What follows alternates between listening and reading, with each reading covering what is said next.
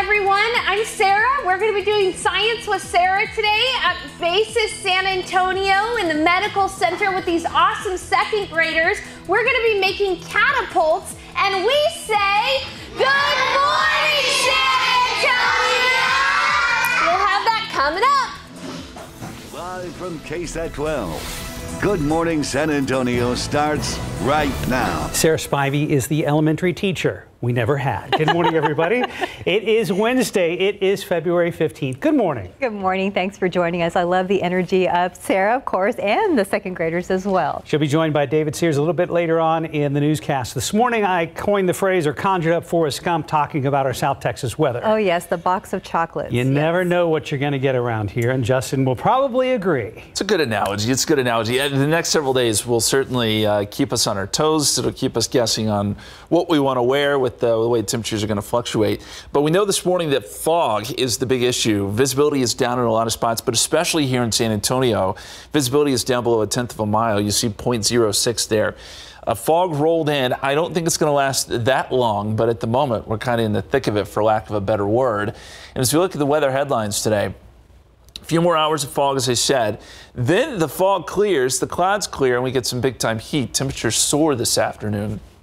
Then a cold front arrives tonight and that changes everything for tomorrow. We get gusty winds and much cooler temperatures.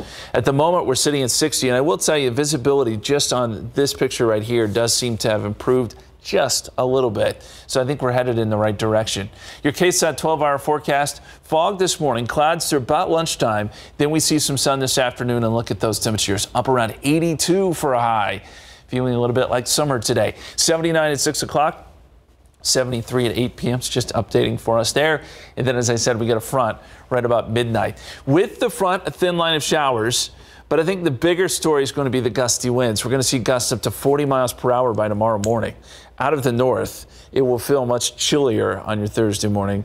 Uh, we'll talk more about these changes, any more rain chances coming up, too. That's here in just a few minutes. Well, let's get over to Stephen now. Is the fog causing any issues on the roadways? Well, it's tough to say right now, Justin. We're seeing our share of, uh, share of stalled vehicles out there. 10, uh, 410, pardon me, at New Braunfels. We have a stalled vehicle off in the shoulder lane. It's not causing any major issues for drivers, but you can check out some of these TransGuide cameras. Yeah, that fog has definitely taken over the lens in some of these shots. 35 at Toepperwein. Although it's uh, foggy out there, we're not seeing major issues. The morning commute has dwindled down, so that could really help in avoiding a lot of the incidents. But I do want to get your attention to a crash that was causing a bit of a slowdown along I-35 35 northbound as you approach 37. Uh, that's already cleared out, so we don't have to worry about that. And some of the slowdowns that we had on our map that were really just taking over the streets have already again dwindled down. Morning rush is pretty much done and over with, but we have to keep a close eye on these roads regardless because we still have some of that fog out there. Hopefully it doesn't impact the commute. You could see at 1604 Pat Booker, closer to the northeast side, things are still quiet, but I'll watch the roads closely throughout the 9 a.m. newscast and I'll be sure to update you if anything pops up. Guys. Stephen, thank you. Happening in about 30 minutes or so, Andre McDonald, the Air Force major found guilty of manslaughter in the death of his wife, will be back in court. Now, we are told it's to discuss the tampering with evidence charge from that case. A source tells KSAT 12 that McDonald has accepted a plea deal on that charge. The hearing is expected to start at around 9:30 this morning. Court reporter Erica Hernandez is there to cover the proceedings. We'll be live streaming it once they start. Stay with us on air and online for the very latest. Huge flames seen shooting up from an apartment home downtown overnight. San Antonio fire crews are working to determine the cause of a massive two alarm fire. That fire happened just north of downtown near I-35. KSAT's Alyssa Cole has more from the scene. I'm here on Baltimore Avenue near the I-35 frontage road where roughly 30 fire crews worked together this morning to put out an extensive fire at this apartment home around 1 o'clock this morning. Public information officer with SAFD tells us when crews arrived to the 4,300 square foot building, it was boarded up and appeared as if some people were still presently living there. Family related to the owner of this property tell us off camera there was a man living on the second floor, but he was not present when the fire broke out. Now officials say holes in the bottom of the floor on the first floor made fighting the fire from inside extremely dangerous. It forced them to take a defensive approach from outside of the building where they were able to put out majority of the flames. Now, a few vehicles nearby did catch on fire, but the good news is no one was injured. Investigators are working to find out what caused this fire, but they do believe there's a possibility it started on the first floor. Reporting downtown, Alyssa Cole, KSAT 12 News. Thank you, Alyssa. And we are learning that crews are planning to demolish the structure. We're going to keep you updated on when that will happen. For now, here's today's 9 at 9. New details about the gunman in the Michigan State University shooting. University police say the suspect, 43 year old Anthony McRae, shot himself during a confrontation and died. Authorities also found a note in McRae's pocket that made reference to plans to attack two more schools in New Jersey. McRae had no connection to the victims or the university. The gunman responsible for another mass shooting faces sentencing today. Peyton Gendron, a self professed white supremacist, is expected to get life in prison after pleading guilty to killing 10 people last year at the Tops supermarket in Buffalo, New York. Gendron is the first person in New York to be charged with domestic terrorism motivated by hate. U.S. officials say the Chinese spy balloon was intended for surveillance and may have been inadvertently blown over the U.S. mainland by unusual weather conditions. However, some senior U.S. officials are casting doubt on that report. Meanwhile, NORAD is working to recalibrate their systems to register threats like the spy balloon while weeding out weather balloons and other similar objects. The head of the FAA has ordered a sweeping review of the agency.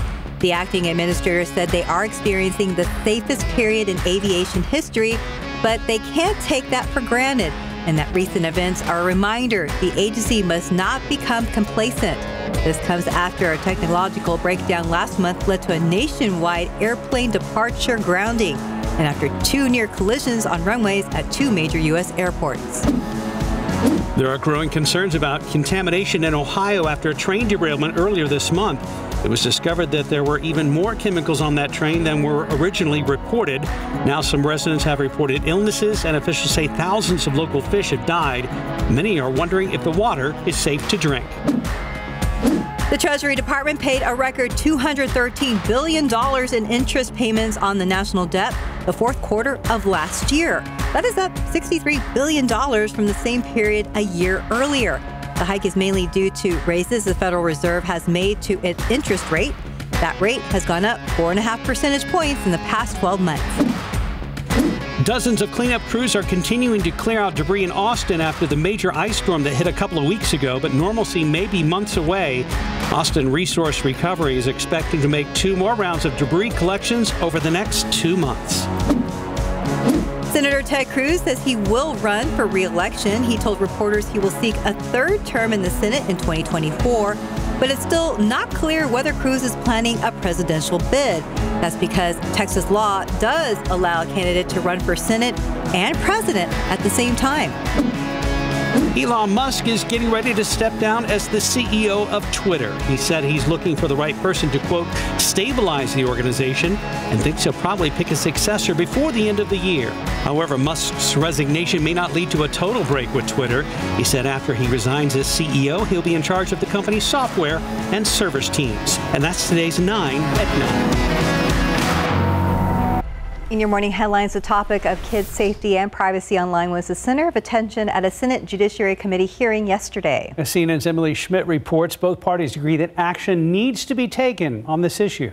Please raise your right hand. Do you swear or affirm the, the Senate Judiciary Committee spent about two and a half hours Tuesday in a rare unified hearing. This cause is truly bipartisan.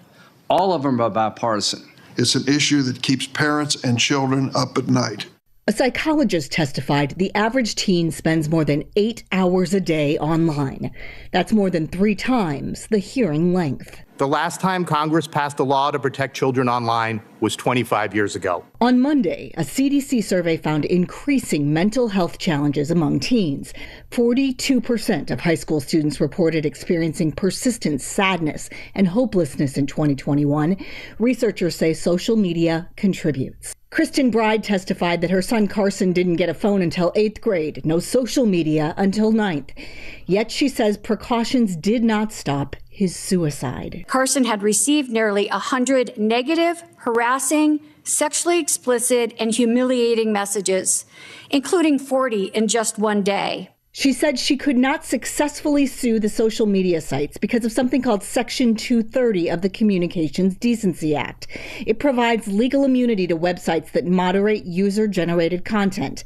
Lawmakers are considering limits. Other ideas include creating a digital regulatory commission or setting age limits. Senators promised change and hinted that big tech will be invited to future hearings.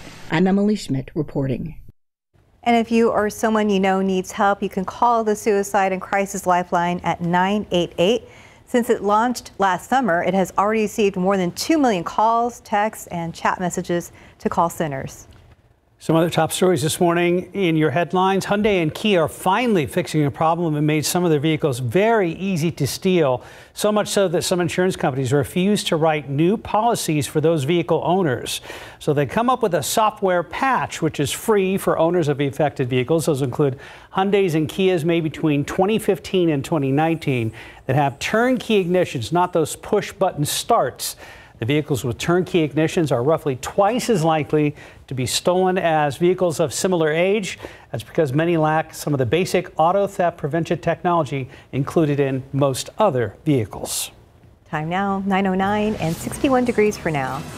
Coming up on GMS at 9, a local company that created unique medical kits that can be placed inside a cargo aircraft is now developing another container that could be used for military or civilian operations. When we come back, Tiffany Huertas will tell us about this latest project and the impact it's having. A local company first created medical units that can be placed inside a cargo aircraft, and now they're developing a container that can transport items by rocket. Tiffany Huertas joins us live from Knight Aerospace, located at Port San Antonio, with how this project can save lives. Good morning, Tiffany. Good morning. Really cool stuff happening here at Knight Aerospace. Just check it out. This medical unit right here, they're finishing it up and it will be delivered to the Royal Canadian Air Force. It's the second unit they created and now they're working on another cargo container. To talk more about this, we have Michael Knight. Good morning. Talk to us about these units and the impact it's having. Good morning. Uh, so this is the um, aeromedical biocontainment module that we're delivering to the Royal Canadian Air Force, transforming the way that medical individuals, patients can be transported in the back of cargo aircraft. How long does it take to make one of these? So our first unit, uh, once we got under contract, we delivered in seven months. The second unit, same exact time frame, seven months from contract award to, to handoff to the Canadians um, within that time frame. What does it mean to have this company do this here in San Antonio? It's amazing. Um, I grew up here in San Antonio. Um, it's great to see. Uh, it's my family uh, company. It's a family business. My grandfather started the company. Um, but it's great to build it up here in San Antonio. We are a small business, but we're continuing to growing. We started out with 30 employees, we're up to 60, and we're continuing growing from there. Tell us about this latest project. So, the latest project is a small business innovation research contract that we are awarded from the U.S. government. Um, it's to help innovate um, and provide containers and cargo systems that go on rockets, which is the next innovation that Knight Aerospace is looking into and expanding on outside of cargo aircraft is into the rocket. And this meant a lot for your grandfather. So, what does this now mean for you to be leading this? It, it means it's amazing. Um, I saw where we started out as a real small company to where we're at now, um, taking it to the next generation, continuing and taking to the next generation, innovating all of our projects, um, innovating and helping the world, moving, helping humanitarian aid. Um, using the rocket cargo, uh, moving patients, not only infectious disease patients, but any medical type of system um, can be utilized using our safe and durable products. Awesome. Well, thank you so much for joining us this morning. My pleasure. Thank you. We're going to talk more with you and we're going to bring you the inside of what it looks inside one of these containers at the noon show. We'll send it back to you. Thank you, Tiffany. Let's go outside with live cam. Much earlier this morning before the sun came up, we thought we saw fog. Yes.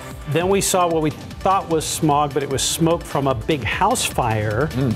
And then we realized, yeah, fog is truly an issue, a big yes. issue this morning. Yeah, it is. At least at the moment. I don't think it's going to last very long because the sun pops out this afternoon and then we're talking about heat. But uh, as we said at the top of the show, we get a little bit of everything next couple days. So be prepared.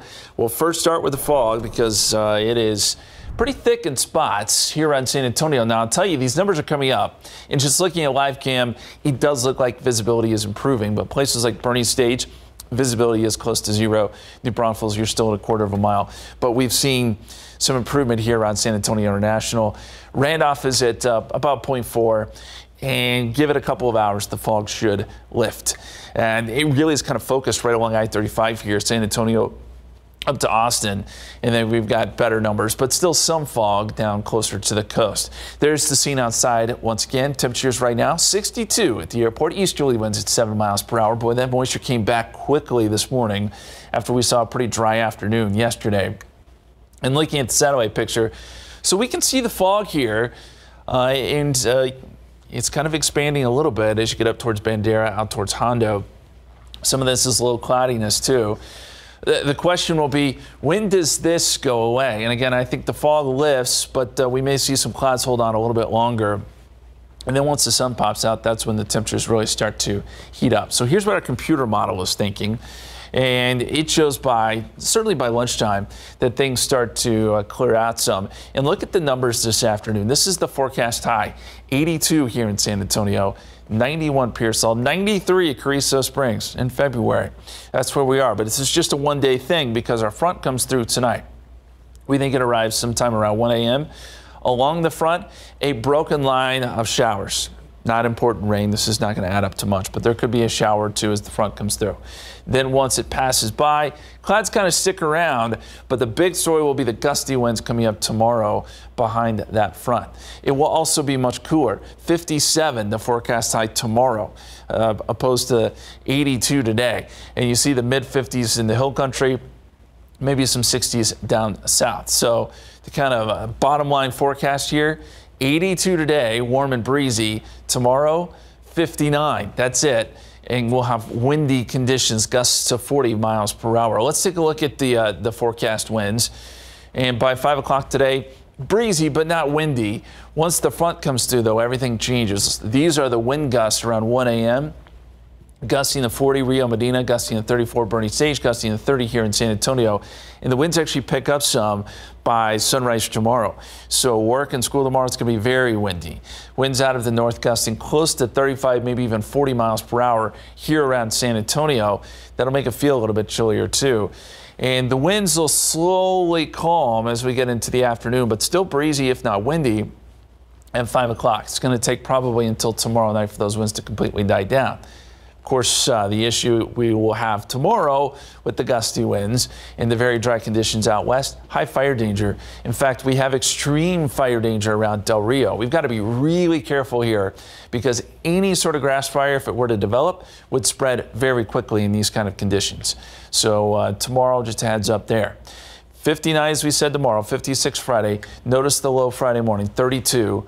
34 Saturday morning, so a chilly start, but not a bad afternoon. 60 with mostly cloudy skies. 73 Sunday. 80 on President's Day, so we're right back up into the 80s again, and we'll get another shower or a chance of a shower or two coming up on Tuesday. So a lot there, a lot to look at in the seven day forecast, uh, but there will be a lot of changes just over the next 24 hours, guys. And if we don't like it one day, it'll probably change the next. Yeah, that's always the running joke here in Texas, right, with the weather. But uh, it definitely applies this week. An oldie but a goodie. Yeah. Yes. Thank you, Justin. Mm-hmm. 919, 61 degrees. Let's look over to where Sarah is live. She's out at Basis San Antonio Primary School in the Medical Center, and they're getting ready for their experiment right now. It's Wednesday. That means it's time for another Science with Sarah. And this morning, Sarah Spivey and David Sears are out in the medical center area here in San Antonio at Basis San Antonio Primary School. So they're going to be making popsicle stick catapults with the second graders there. Good morning, guys. Hey, good morning. Yes, David is fanning himself with the popsicle sticks. We're making catapults out of popsicle sticks, bottle caps, and rubber bands. It's pretty awesome. So, David, are you ready to do I'm ready. this? Let's do this. Okay, what you're going to do is you're going to take eight popsicle sticks. You're going to stack them up onto each other, and you're going to tie them together with rubber bands on both sides. Way to go, David. Almost there. Okay, while David's doing that, I want to show you these two popsicle sticks that I have here. They've got notches on them. And these, this is going to act as our lever I'm gonna go ahead and make some notches on these ones for you. Your rubber band break. Oh, you get another one. And so then you're gonna make two notches. These are gonna act as your lever here. So David, what I want you to do is I want you to stick one of these levers through one of the of the popsicle sticks. This is gonna be our base. Man. I know, a little difficult. Got it? Here, let me help you. Hold on, hold on, hold on. I can do it. You can do it. I can do it. There we go. Boom. Okay, with the other lever on top, you're going to to come to bind these right along those notches there. Okay, and if you want a little extra fortification, you'll tie it right around right around that fulcrum. That's what we call the middle point there. Due to time constraints, I've already got one. Okay, boom. All right, so then what you do here is you take one of your glue dots. Oh, yeah, okay, well, we'll do that. We gotta Listen, do I don't, we have, okay, go. Here, one of your glue dots. Did and you put drink it on right the here. Topo Chico? Did you drink that? I Where- did. Where's the? Guilty as charged. And then you'll put your bottle cap, and that acts as a basket. And then you can fling it See around. what you can do. Marshmallow bottle cap. Watch Let's this. try this. this. is how it works. You ready? Here we go. Oh, oh. Oh, Look at hell, that. got plenty of marshmallows. That's right at it. Right at Yeah. And what the great thing is, is you can pick other things to do this with. So we've got some pom-poms here. We've got pencil erasers. Hey, these awesome second graders, they made a hypothesis as to what is gonna fly faster or farther. We're gonna be showing that off here in a bit. Meanwhile, David's eating some more marshmallows. So stick around for that. We're gonna have this fun, awesome science experiment about simple more. machines coming up. Stick around for that.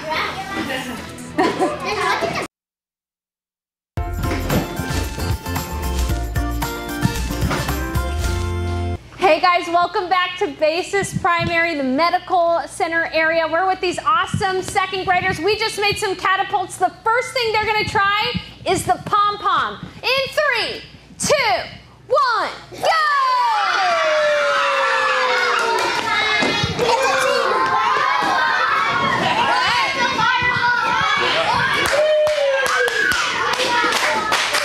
The next thing we're going to try is the ball.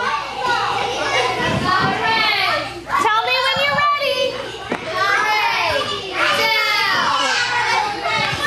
Cotton ball in three, two, one.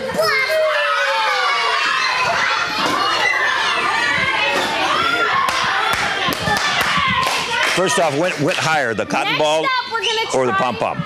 The pom pom. And what did, your pom pom looks a little orange. What do you think that was? What is, what is Che- that? cheese ball. It looks like a cheese ball. Ooh, we like cheese balls, don't we? All right, here we go. We're gonna get the next one. What's the next one? Sarah? Next up, we're going to try the bead. The bead. The bead. Load up your basket. The bead. All right, we're gonna launch the bead in three, two, one.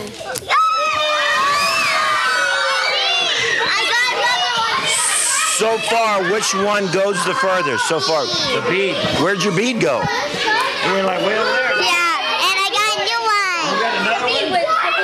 Bead again. Fly it. Let the thing fly. Go ahead. Let it fly. We're on TV. Let's see. Go ahead. Go ahead. Next up, we're going to try the marshmallow.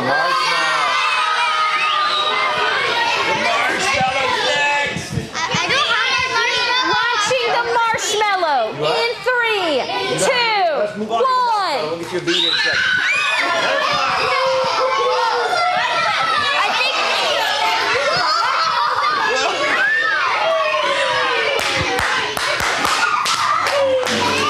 Awesome, guys. Is so fun. Okay, what's left? Okay. The eraser.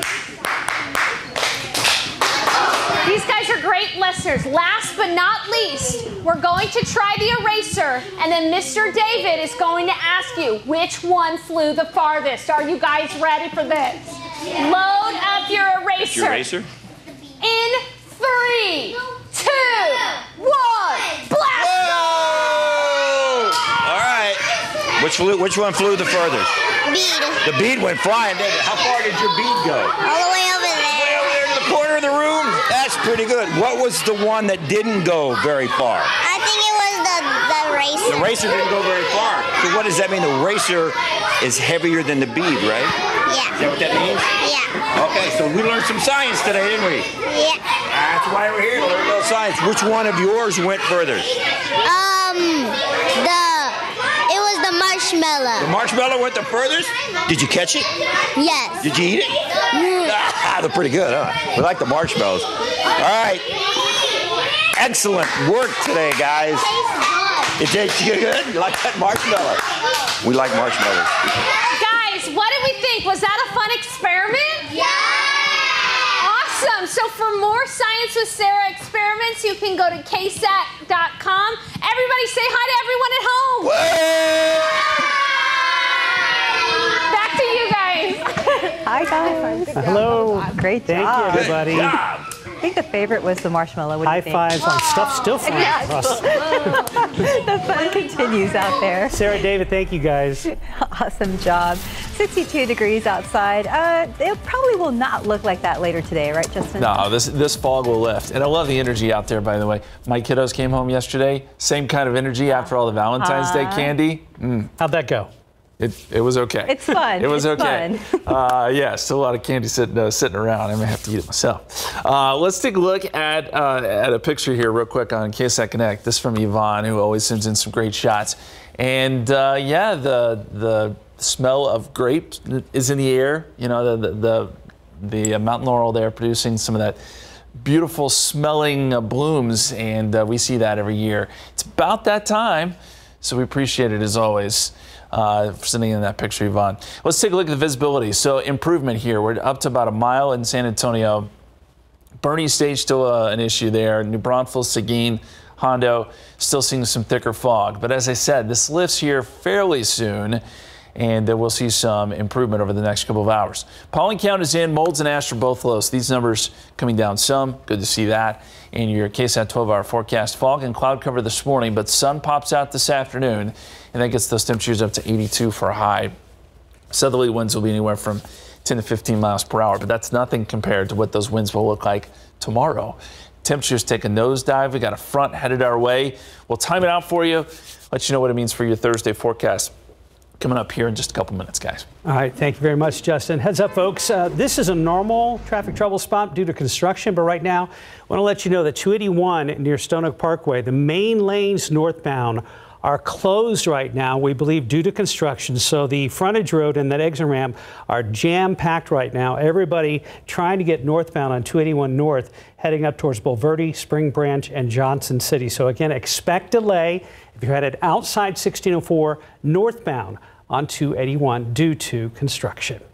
Well, new economic data for the month of January reveals the cost of most consumer goods rose last month, but despite the increase, annual inflation continues to decline. CNN's Mike Valerio details how sky high prices continue to break household budgets. Consumer prices in January continued to decline on a year over year basis, but inflation edged higher for the month, up half a percent from December, according to data released Tuesday by the U.S. Bureau of Labor Statistics. The critical thing is down, but not down nearly as much as we expected, and not down nearly as much as you would hope if you were as the Fed is currently trying to get inflation back towards some kind of normal. The increase largely due to rising shelter costs, which accounted for nearly half the surge. Other key household budget items like food, gasoline, and natural gas also got more expensive in January. Along with pricier motor vehicle insurance, recreation, apparel, and home furnishings. There were a few bright spots, though. Prices for used cars, medical care, and airline fares all falling from December. The new report comes on the heels of an unexpectedly strong January jobs report that saw a gain of more than half a million jobs. High inflation and a strong jobs market painting a confusing picture for economists. We were heading in a high inflationary environment, and the probability for recession was significantly higher. Now that's completely been turned upside down.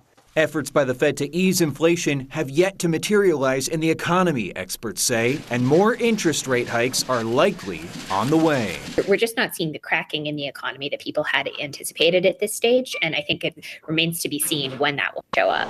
I'm Mike Valerio reporting.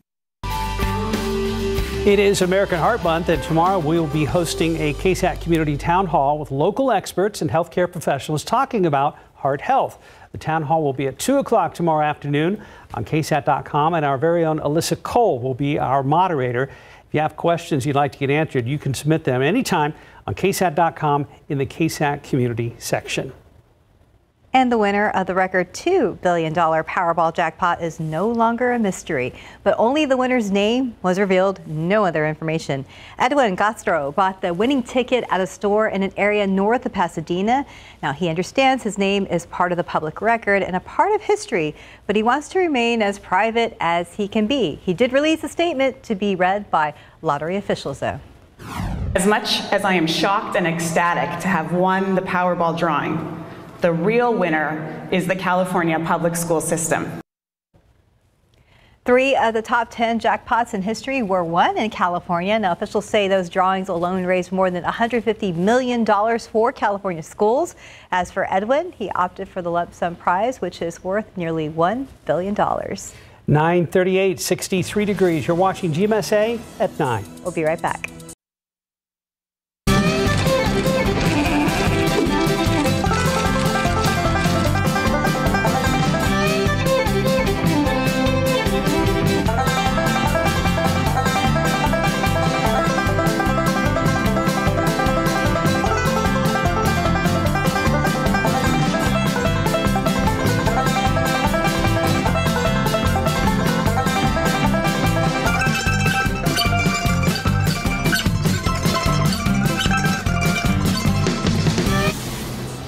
Welcome back, 942. I got your six is a phrase in the military that means I got your back, which is the message the I Got Your Six Summit hopes to send to service members and veterans who are struggling. Jonathan Cotto explains what the event is all about through the story of a retired major and mother who's been there. Transitioning from active duty service to civilian life, not as easy as it may seem, and retired Air Force Major Adrian Beard knows the challenges firsthand. I felt like I prepared myself before I got out of the Air Force, and then when I got out of the Air Force, it was a totally different story. I thought it was going to be a smooth ride down a snowy hill. But instead, it ended up being a very rough, bumpy ATV ride. Beard didn't plan to go so long without a job and without pay while she waited for benefits to kick in. I humbly tapped into the San Antonio Food Bank because I had little twins that needed to be fed. Beard now works as a liaison between active duty and veterans. She's attending the I Got Your Six Summit to find out what help is available from hundreds of nonprofits, resources that oftentimes veterans don't know exist. Bridging that gap is the purpose of this event. Folks here at Got Your Six Summit say the problem isn't a lack of resources, but how do we get the numerous resources into their hands? There's a, an embarrassment of riches, some might say, in San Antonio because there is so much support. But it is still not always as easy as it could be to connect with that support. Former Chief Petty Officer in the United States Navy, Julianne Stitt, says one of the many resources, the United Way, has measured that at least 30,000 veterans in Bexar County don't make a living wage. And so those are the ones that we're seeing a lot who kind of get caught needing help with rent and food, uh, childcare, things like that. So, yes, it is a problem here. Jonathan Cotto, KSAT 12 News. Nice, 63 degrees, not mm-hmm. as cold as earlier today. No, a lot of that has to do with moisture. We had a good surge of moisture coming overnight, and that led to some fog. Uh, and then we're going to get some uh, really warm temperatures, well above average this afternoon. Uh, let's take a look at the visibility. These numbers have improved since the last time we talked to you, so we're improving by the minute. Up to two mile visibility at the airport uh, close to two miles in Boerne Stage. Remember, about 15 minutes ago, this was close to zero. So looking better and better with the fog. Now we still may get some low clouds hanging around for a while longer. That tells me the sun's probably going to pop out here uh, a little bit later, probably after lunch, and the, then we'll get those uh, really warm temperatures we were talking about. There's the scene. Still some low-hanging clouds. Ceilings are still low here at the airport. 62, 63 Stinson, 64 Kelly, 63 at Randolph. And winds are light. It was a good setup for fog this morning as that shallow layer of moisture surged in. We can see it nicely here on the visible satellite picture. So it's overspread most of Bexar County. It's uh, making its way up into Bandera, Hondo, Sabinal, up towards Sisterdale. Now west of that, sun is out. And so if you're watching us from Rock Springs, Lake Uvalde, or Del Rio, it is already sunny. And you know you're going to get some very warm temperatures later today with that full sun. Uh, seeing some of it around Pleasanton too and then some lingering clouds down to the south and east of that. So here's what we're looking at forecast wise when we're talking about temperatures. This is 4 o'clock. Clouds shift out 82 this afternoon. Some places could be in the mid 80s like Hondo and Devine, and I wouldn't be surprised if we saw a couple 90s on the map. Places like Carrizo Springs. It is that warm. But as we get into uh, tomorrow morning, the front comes through. We think around midnight, maybe just after midnight. With it, a thin line of showers, but we're not going to worry about the rain too much because there just won't be much with it. Uh, the bigger story will be the gusty winds and the cooler temperatures. So by tomorrow morning, 7 a.m., 48 here in San Antonio, but that comes with a good, stout northerly wind. In fact, gusts could be up to around 40 miles per hour. Uh, so it's going to feel chillier than that. And it's uh, just one of those things where we have to remind you once again if it's uh, your trash day, make sure you secure your trash can because it will roll right down the street with these kind of winds. Tomorrow afternoon, we're only up around 59. Clouds probably stick around, some off and on cloudiness, but that'll keep temperatures in the upper 50s, uh, close to 60. Uh, it'll be uh, quite a bit chillier. So let's look at the time view of this front. As I said, just after midnight, probably here in San Antonio. That happens a little bit earlier. If you're up around Kerrville and Rock Springs, 9 to 10 o'clock, and then down towards the coast more 4 to 6 a.m. Uh, thin line of showers, as I said, gusts to 40 miles per hour by tomorrow morning and much cooler. Big change from today's high temperature in the 80s. So let's look at the forecast winds. Uh, this is 5 o'clock today, showing some gusts maybe around 20, 25 miles per hour. Winds calm for a little bit, but then once the front comes through around 1 a.m., they pick right back up. 30 to 40 mile per hour wind gusts at this point, and I think the strongest winds come right around 7 a.m. tomorrow morning. Uh, as we're heading to work and school. It's going to be very, very windy. Gusts 44 miles per hour in Helotes, 39 Rio Medina. These are just estimations, but I think in the range 35 to 40 is a pretty good bet uh, out of the north. And then even through midday, we're still seeing the very strong winds. It's going to take until probably dinner time before these winds finally start to calm some and we see some better conditions. On top of all of that, we're going to get some pretty dry air shifting in tomorrow, especially out west. So this is the relative humidity in Del Rio tomorrow afternoon. And we have these percentages uh, down here in the teens. You have a pretty significant fire danger. You compound that with the wind. Not a good situation. I would say the fire danger, well, it is. It's in the extreme risk tomorrow, about as high as it gets if you're out near Del Rio. And we've got the very high category for most areas west of San Antonio. Risk isn't as high here, but I'd say the entire area, we've got to watch for this, for these gusty winds. Any sort of grass fire that gets started will spread very, very quickly. Uh, so obviously no outdoor burning, goes without saying, but uh, just be careful. 59 tomorrow, 32 Friday morning, we're down to freezing. And then uh, 56 Friday, 60 Saturday, 73 Sunday. We moderate back into the 80s next week but uh, some big ups and downs next couple days.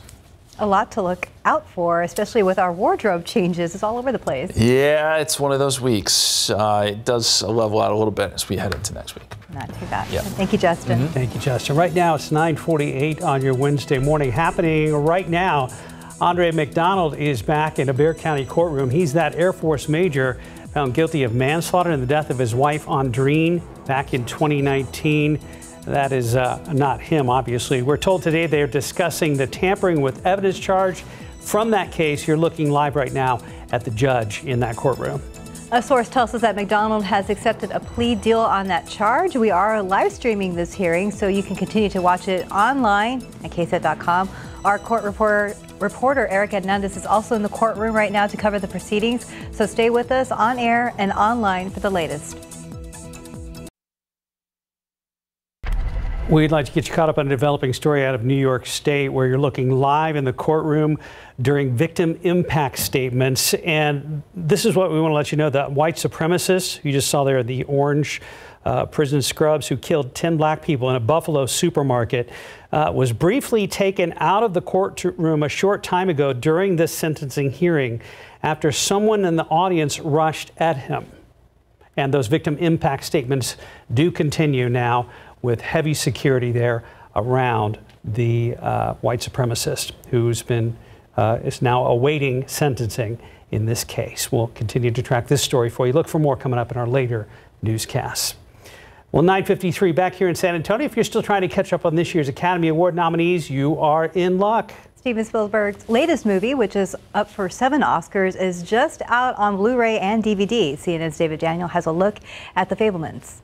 What kind of movie are we gonna make? Newcomer Gabriel LaBelle is a young filmmaker with a complicated family life in Steven Spielberg's The Fabelmans. In this family, it's the scientists versus the artists. Sammy's on my team, takes after me. Michelle Williams and Paul Dano play his parents, and Seth Rogen a family friend.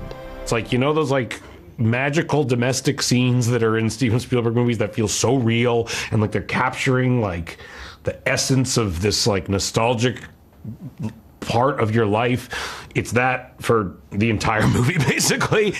What she got in her heart is what you got. You can't just love something, you also have to take care of it. It's more important than your hobby.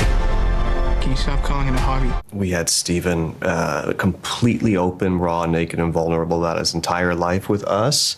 We had each other. And they had LaBelle centering the film as the young Spielberg stand in. What a way to start, right? To be 20 years old, maybe 19 when we made Yeah, this. yeah. 19 years old when we made this, and you walk onto a, set, a Steven Spielberg set playing him. It was quite an experience for the young actor and potential future filmmaker. He's an incredible example and it, it, it was just very validating like oh yeah totally but i've definitely wanted to do it for a while but it only makes me want to do it more You stop making movies, that'll break your mother's heart. i don't know what to do anymore You do what your heart says you have to. In Hollywood, I'm David Daniel. And you can catch the Oscars right here on KSAT 12 on March 12th at 7 p.m. The San Antonio Spurs finishing off their first leg of the rodeo road trip tonight over in Charlotte against the Hornets. Tip off set for 6 o'clock our time. We'll have highlights on the night beat, and we're hoping the Spurs can finally snap this losing streak that they are on. And here at KSAT, we recognize educators who go above and beyond. And tomorrow on GMSA at 9, we're going to introduce you to a Douglas Elementary science teacher who is not only going above and beyond inside the classroom, but outside as well. All right, 64 right now. The, the fog is lifting. We'll see the clouds clear out some this afternoon. Temperatures will be warm, but that cold front comes through tonight. Small chance for shower. Otherwise, the big story will be the gusty winds coming up tomorrow morning. Lots going on in that forecast. hmm Yeah, the, the front uh, right around midnight. And so tomorrow morning, you will really feel the difference. And it'll be blustery. I think that's the word to go. Another grab a jacket kind of morning. It Heavier is. jacket. Heavier jacket. I'll have it out and That's ready. right. Thanks, Justin, Justin. thanks. Thanks for joining us today. Have a great day.